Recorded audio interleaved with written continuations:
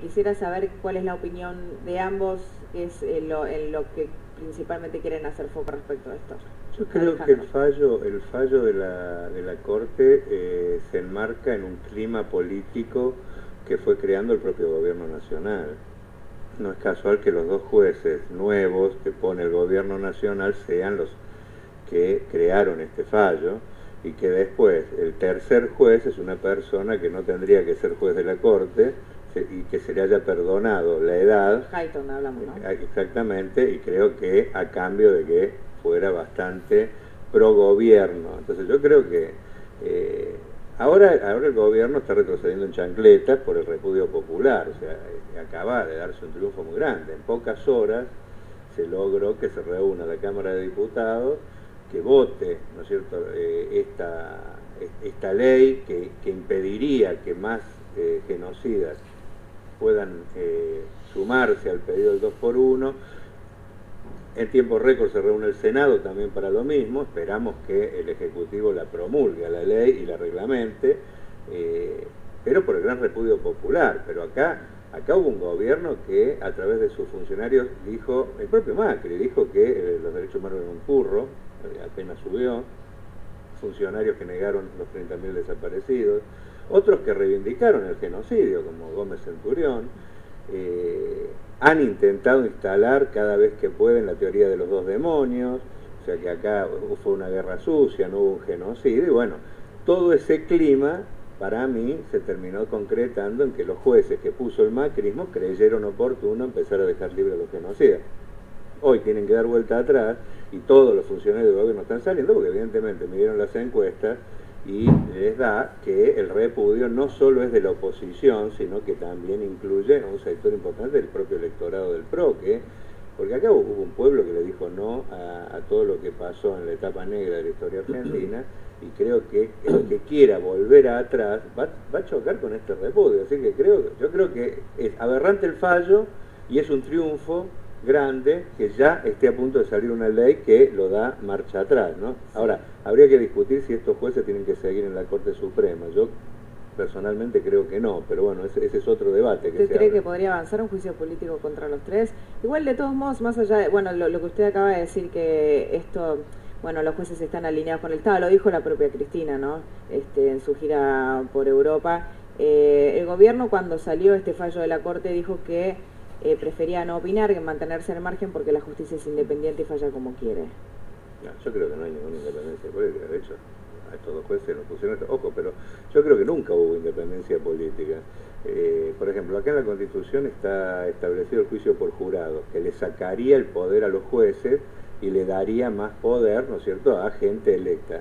En la Constitución desde hace 100 años, sin embargo nunca se aplicó para dejar que los jueces tengan el poder de reyes, más o menos. Son vitalicios y para mí no son electos por el voto popular, que es lo que tendría que ser para que una de las instituciones de, cosas, para mí tendría que abrirse el debate si no puede ser votada. En muchos países se votan los jueces y fiscales y por esa vía se impide que sea el poder de turno el que los ponga o los saque, como es en la Argentina. Pero bueno, yo creo que hay que entrar en estos debates, porque si no tenemos jueces como estos, o los de Tucumán, que dejan libre a tipos que están, eh, todo el mundo sabe que son los, reyes de la trata, y bueno, tenemos infinidad de casos donde, donde los jueces, eh, en vez de impartir justicia, imparten impunidad.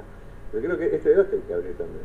Ahora, yo entiendo lo que, lo que están diciendo ustedes, lo que dice muchísima gente, bueno, las críticas que no, no, no paran de, este, de decaer ¿no? sobre, sobre el Estado a partir de una decisión de la Corte, a partir de una decisión de la Corte, que se supone que es independiente. Ahora, yo me pregunto, ¿no? Digo, analizando esta situación, ¿en qué beneficiaría al gobierno de Macri un fallo semejante, sobre todo en un año electoral? ¿En qué beneficiaría esto al Estado? Yo todavía no lo... No, no... Bueno, es que ellos están creando... Ojo, eh, eh, hay, que, hay que unir lo que pasó en la dictadura eh, y también unirlo a la situación actual. Acá hay un plan de ajuste que no cierra si no es con represión. De hecho, ya ha empezado a haber represión lo hubo en el paro del 6, lo hubo en la carpa de los docentes, o sea, y la política de reconciliación con, eh, con las Fuerzas Armadas tiene que ver también para tenerlos como último recurso si de acá... Eh, pero, pero reconciliación con las Fuerzas Armadas eh, otorgarle un 2 por 1 a un represor con la historia que tenemos justamente en un año de elecciones de medio término? Que forma parte, que forma parte de todo lo mismo. Mira, yo te digo una cosa. Acá el clima este que se creó hizo que, por ejemplo, le dieran la domiciliaria Checolat el carnicero de la, de la policía bonaerense, el desaparecedor de Julio López. O sea, hay que unir. El clima hizo que, por ejemplo, el episcopado se reúna y reciba a los familiares de los genocidas y hable de reconciliación. Acá hay un clima que está intentando el gobierno. Recordemos que la dictadura no se podría haber hecho sin la complicidad de un sector de la clase política y de la clase empresarial.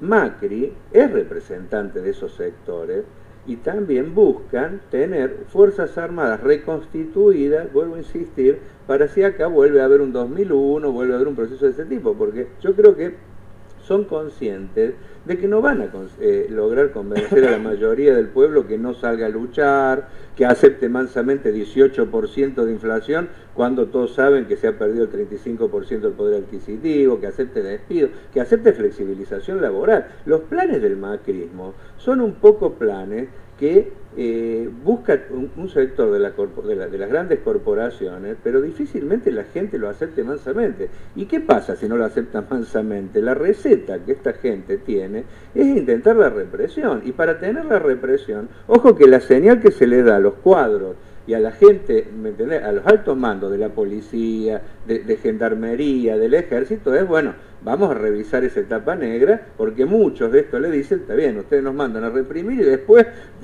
el, clima político es el de que terminamos siendo culpables. Quieren, quieren impunidad. Yo creo que es un viejo reclamo que bueno, que ahora encontraron un gobierno, ahora ha chocado contra el pueblo. Yo creo que el gobierno eh, tiene un problema, que chocó contra una oposición que no creía. Yo creo que se envalentonó un poquito con la marcha del 1 de, del 1 de abril, el hecho que la CGT no le diera continuidad al paro, un poquito se envalentonó y dijo, bueno, avancemos. Y eso es lo que leyeron, yo creo, los jueces de la Corte. Vos bien lo decís, yo creo que leyeron mal. Leyeron mal porque han logrado un repudio generalizado, el mismo repudio que lograron cuando intentaron con la carpa docente reprimir. Yo creo que, o sea, se envalentonan y se van de boca y no se dan cuenta y después tienen que, que Y yo creo que en esto pasó eso, pero ojo, ahora hay que leer que hay un gobierno que quiere hacer todo esto, ¿no es cierto? Que quiere intentar hacer esto, porque más allá de lo electoral, es un gobierno que vino un poco a normalizar, entre comillas, una situación para los de arriba, que desde el 2001 está muy eh, compleja. Eh, las encuestas, ¿qué le dicen? Hay mucha gente que dice no queremos piquete, pero la misma encuesta le dice, pero sin represión. O sea, este es un país muy complejo y yo creo que esta gente quiere aplicar un plan y va chocando permanentemente con el rechazo popular. Ahora, vos, ¿qué lo... Ahora, la reacción, vos, vos recordás, hace poco hubo una marcha del 24 de marzo. El gobierno salió brutalmente a intentar de desprestigiarla a la movilización, porque tal habló y dijo tal cosa. Eso pasó hace muy poquito. O sea, hay un gobierno que actúa contra eso. Pero me quiero detener dos minutos con el tema justicia, porque eh, se habla mucho, si, si se hace una encuesta, los jueces están allá abajo en la consideración popular porque todos opinan que justicia no hay. Ahora, hay que... La justicia está incluido también en esa Total, porque ¿eh? yo creo que es toda la corte, yo creo que es toda la corte. Ahora, yo, eh, hay que decirlo con claridad, acá no hay independencia política, porque los jueces los elige la corporación política en un toma y daca. Yo he participado, yo he participado como diputado de eh, sesiones que terminaban a las 3 o 4 de la mañana porque estaban negociando entre los bloques mayoritarios en la ciudad de Buenos Aires, entre el PRO y el Frente para la Victoria, negociando, bueno, a vos te tocan 30, dame 20 a mí, así se eligen los jueces. Entonces, esos jueces responden a la corporación política. Si no vamos a un mecanismo distinto de elección popular, elecciones separadas, donde la gente pueda ver eh, en un debate en los prontuarios, me entendés de mucho, esto, no va a cambiar esto. Alejandro, aguantamos un que tenemos que hacer los títulos, no te olvides lo que estabas diciendo, así continuamos. Eh, diez y media de la mañana vamos a actualizar ahora la información más importante.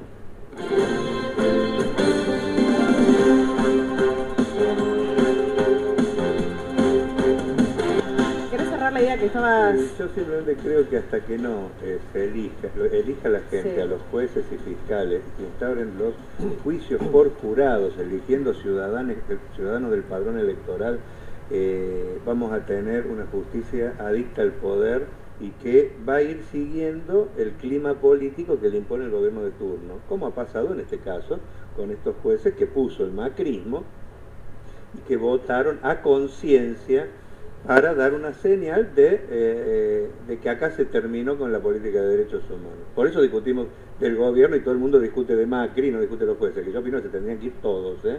todos. habría que sacarlos a todos y volver a recomponer la justicia vía la elección popular.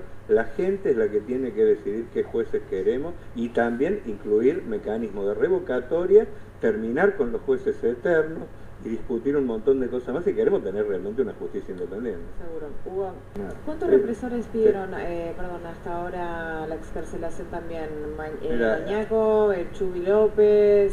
Sí, el turco Julián. Ahora, dicen que hay 36 que estarían en condiciones ya de, recibir, esto, pero me quiero, el tema El problema es que al, al, al definir que se aplica una, un, beneficio igual a un preso común, están negando que no se diga. Yo creo que la Corte, por eso, eh, al, fallar en, este caso, niega el genocidio. O sea, eso es lo grave del fallo, porque no se puede aplicar un beneficio sin tener en cuenta que estamos hablando ¿No es igualmente de, es igualmente nefasto aplicar el 2 por 1 para un condenado por violación, por ejemplo, por Bueno, por eso se derogó, la ley se derogó por algo, se derogó, no está vigente la ley. Ustedes dos van a participar, eh, obviamente, esta, esta tarde de, la marcha en Plaza de Mayo. Estaba prevista que sea en Plaza de la Valle, pero por las obras se pasó para, para Plaza de Mayo. Iba a ser frente al, al, Palacio de Justicia, ¿no? Eh, ¿Qué opinan de que, para cerrar, de que Bonafini no va a estar hoy? Ah, yo creo que se viene equivocándose mucho de Bonafini en muchas cosas, que le hacen mal a la pelea por los derechos humanos. Y, bueno, pero creo que va a haber cientos de miles hoy, así que eso es lo importante para mí. nosotros, nosotros, hicimos una, eh, nosotros teníamos convocado una marcha para el 11, desde el encuentro Memoria, Verdad y Justicia, antes de que surgiera el fallo, por toda la ola represiva que se estaba dando, y desde ya le sumamos el reclamo apenas salió, a, las horas que salió esto. Decidimos unificar unificar, pese a matices y diferencias que tenemos con muchos de los convocantes, porque creemos que en este momento es importante pegar todos como un solo puño, más allá de los matices y diferencias, frente a algo que si no lo parábamos, habría una caja de Pandora y, y vamos a ver muchos, muchos hechos similares en todos los ámbitos. Creo que esa es la actitud que hay que tener hoy y los matices, diferencias que uno puede tener, los puede seguir discutiendo, pero en un marco unidad. El encuentro de memoria, verdad y justicia se va a convocar, va a entrar con una columna independiente, porque tiene otras, eh, otras valoraciones sobre lo que ha pasado antes, pero vamos a ir todos juntos a mostrar el repudio a esto. Y creo que esa unidad que se dio es lo que ha hecho que en tiempo récord se vote esta ley, ¿no es cierto?, que le pone un freno, ¿no es cierto? ¿Qué pasa en el Senado, no? Por eso, vamos a ver. Gracias Alejandro, gracias Hugo. Bueno, lo cierto es que si, esta, si este proyecto no se convierte en ley hoy en el Senado, 278 represores podrían ser beneficiados con estos por uno. Muchas gracias. Gracias.